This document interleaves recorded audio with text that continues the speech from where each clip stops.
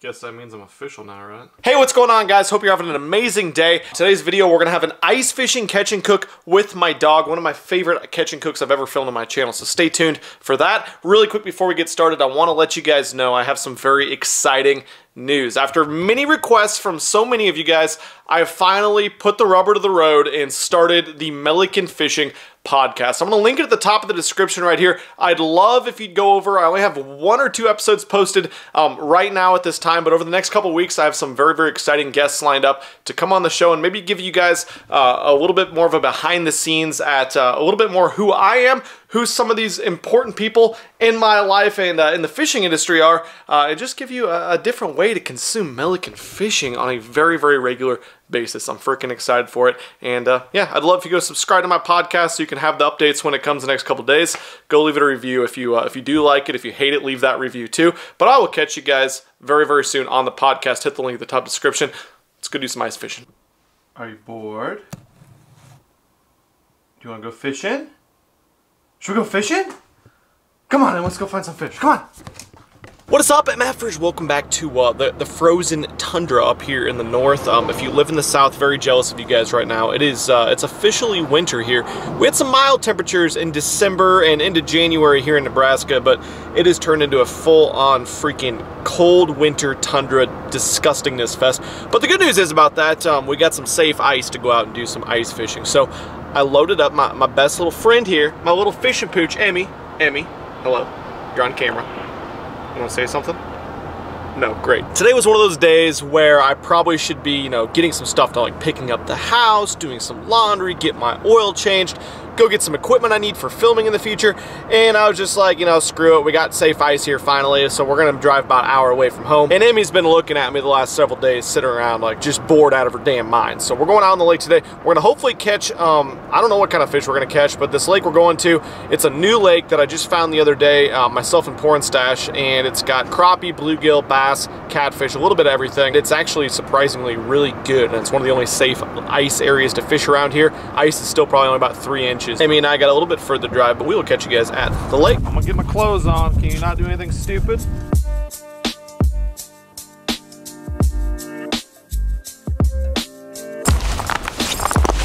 Hey, come here.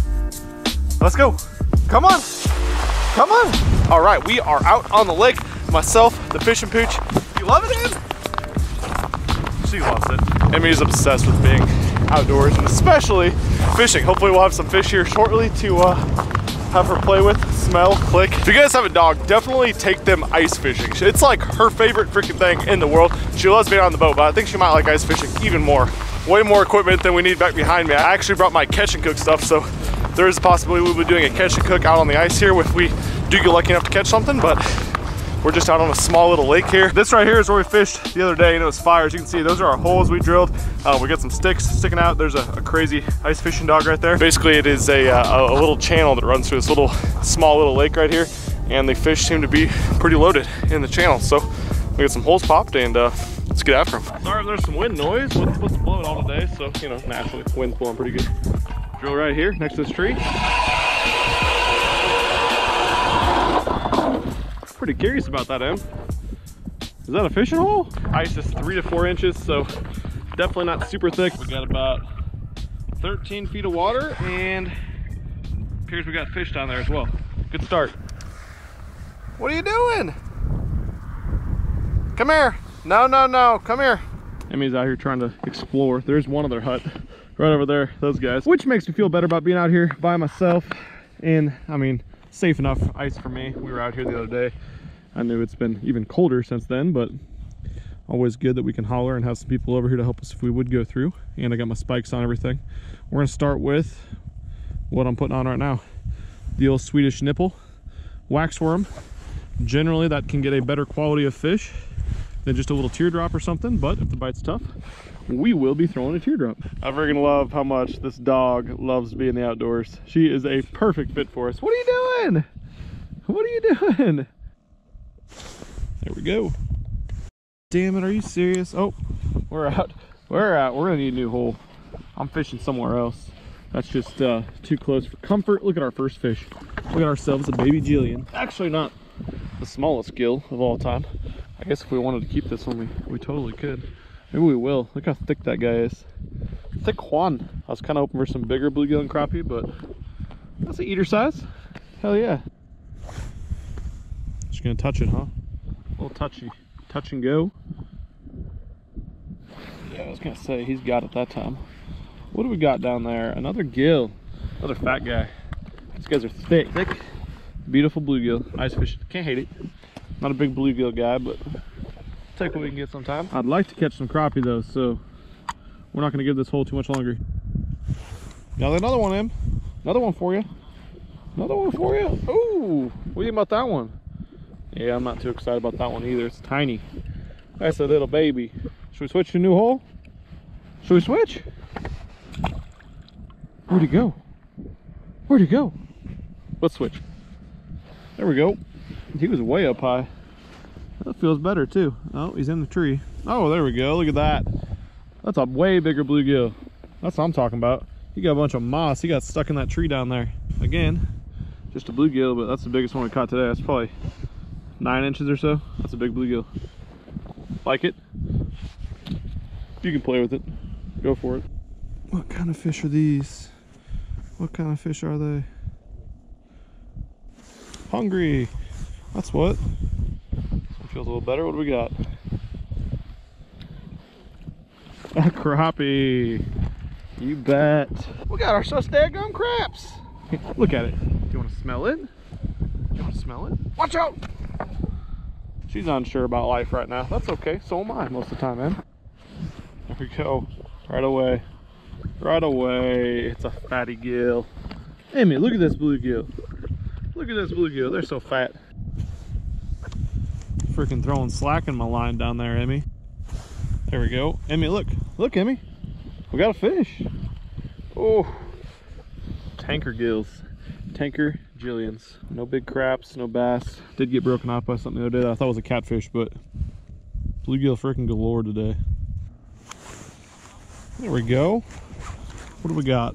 What do we got? Oh shit, it's a big bluegill. Emmie's got to go say hi to everyone that shows up, of course, but I don't know. Dudes over there weren't catching any, that guy said. He talked to them. We're catching a few. Like we've been saying, not not the best to get out here and catch freaking bluegill, but at least we're catching good ones. Barely even caught a small one so far today. Usually all these lakes out here, you catch 924 small ones before you get anything worth shit. This year's been pretty good to us so far. That's the rig though. Basically a teardrop waxworm, splooged of course, where we pop the tail off and it makes it leave a little scent trail. Scent and of course a whole bunch of nasty white. We call it splooge. That's it. Nothing crazy. There we go. He freaking crushed it. Oh, it's a bass. No wonder. I was like, dang, that thing ate it way quicker than any of these fish have today. And with a lot more force. It's a bass, Emmie. That's your favorite. Oh, are you afraid of him? You scared of him? I'd put him on the ice and let you play with him, but we ain't keeping him. what are you scared of? Oh God, these guys want it. Yes. These guys are angry. What do we got? Yep, I thought that was a crappie. I thought that was a crappie. Oh, there's more on the screen. We gotta get down there, Emmie. Should be keeping these six cents pliers in my pocket. They're in my damn backpack. Don't got time to get over to them. Gotta get back down there. They're waiting for it. Emmie, they're waiting for us. They're waiting for us. Let's see if they come back and eat right away. Usually when they, they're schooled up and grouped up like this and super aggressive and up off the bottom, they are crappies. Ooh, he touched it. Wish I had more wax worm on there. I just got some remnants. The difference of a fresh bait can be absolutely freaking huge sometimes. That one's been down there for a while.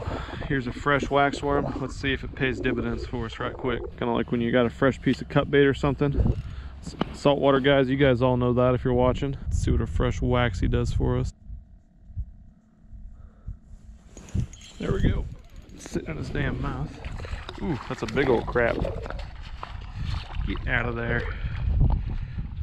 Yeah, bud. At that one. Not a giant, giant one, but one of the better ones we've caught today. Mostly because it's one of the only crappie we've caught today.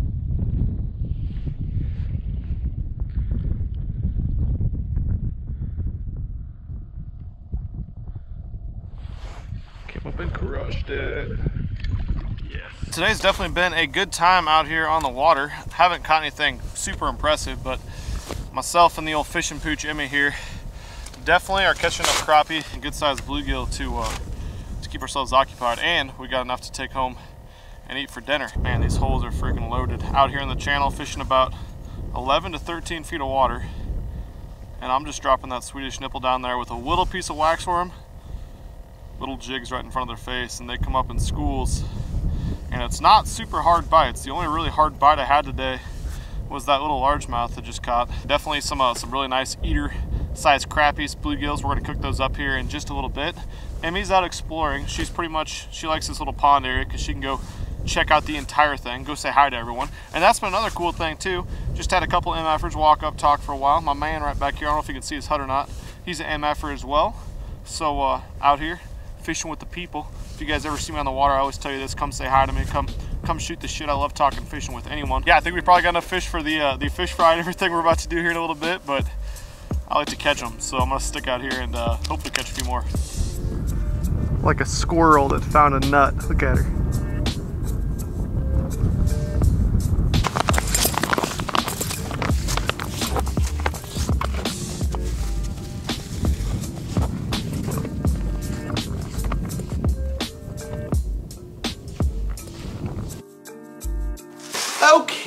Decided to do the catch and cook at the house. Originally I was gonna do it on the water, but um, Spanky started whining and shaking and I don't know if she was actually cold or she was just getting bored of being out on the water, fishing and not running around chasing down MFers that we kept meeting on the water.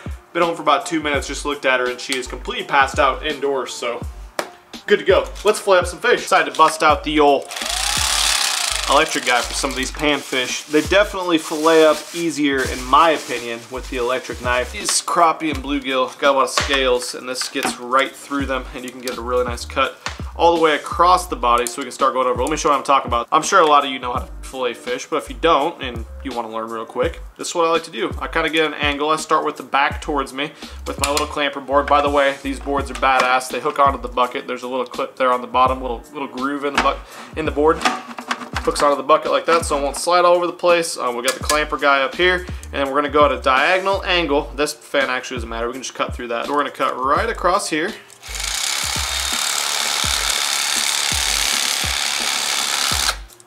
We're gonna get a nice cut all the way down to the spine. We don't wanna go too far through it. That's the biggest thing. And then we're gonna take our knife and we're gonna run it right against that backbone, AKA the spine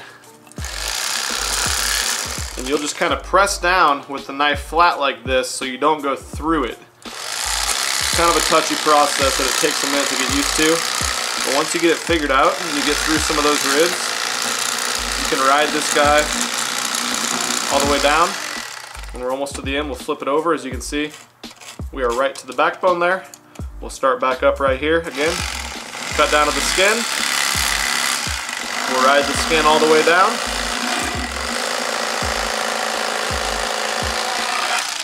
There we go.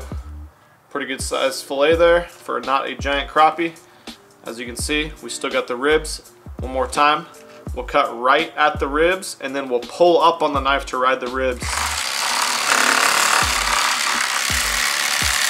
the entire way.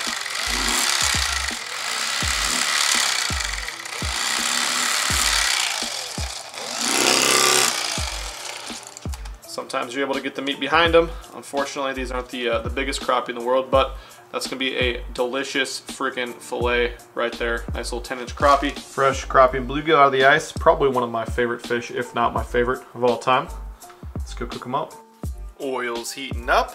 Got one of, if not my favorite, Shore Lunch original batter, milk, of course, beautiful bluegill and crabs. You guys know the process. This ain't anything crazy. We're going into the milk and then we're going into the shore lunch. Gotta get them nice and coated. We don't want to skimp on the coating. And the oil. We're going light on oil today. Light.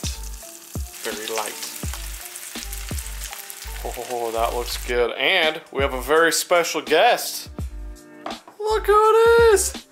The Dad Master. So it has in fact been a couple days since myself and Emmie went out and did some fishing, caught these crappie and bluegill, filleted them up, and now uh, we had a little snow day today. So Dad Master got to school. We just been kicking it here, and I thought that uh, he'd be the one that probably wants to enjoy these beautiful craps, bluegills more than anyone. Yep. Fried this fish- one even looks like a fish. Dude, I mean, it does. Fried fish is like one of your favorite foods. Okay, better try this. We're using this shore lunch. Get one, buddy. We're using this shore lunch fish batter, which I don't know if Max has ever had, but it's gonna be a little bit toasty for you. I can see the steam coming off. Hashtag fire. Tastes good. Do you have any taste buds left on your tongue? it tastes good, but it's still pretty hot. melted your face off. Whoa, there's a dog tail over there. All right, I better give it a taste. Little, little taste myself. Mm, you can't get shore lunch fish batter everywhere anymore, which is travesty because it is. It's probably my favorite to be honest. It coats the fish just better and differently than any other stuff, and way better than like the old Walmart basic stuff that you can get. And uh, even though I end up getting that a lot because it's at Walmart and the freaking shore lunch is not at Walmart, I would strongly recommend this. It comes in buffalo too. That's what I have in my catch and cook um, bag right now for ice fishing and stuff. So you'll probably see me use some buffalo very soon. Freaking love the stuff. But um, yeah, we're gonna we're gonna crush this fish right now. Me and Max, and uh, maybe Emmie will get a piece too because she was a good puppy out on the ice. Um, like I said at the beginning of the video, please go check out my podcast. Go subscribe, share it with your friends if you like fishing. We got a, a lot of interesting content. I don't have a lot up there right now, but I'm gonna have some really interesting guests. I think, in my opinion. And uh, we're not always to keep it status quo. We're to ruffle some feathers and stuff like we've done in some videos here recently. And um, I don't know, I'm never to bullshit you guys. I'm always to keep it 100 as we always say. But thanks so much for watching this video and my first pitch.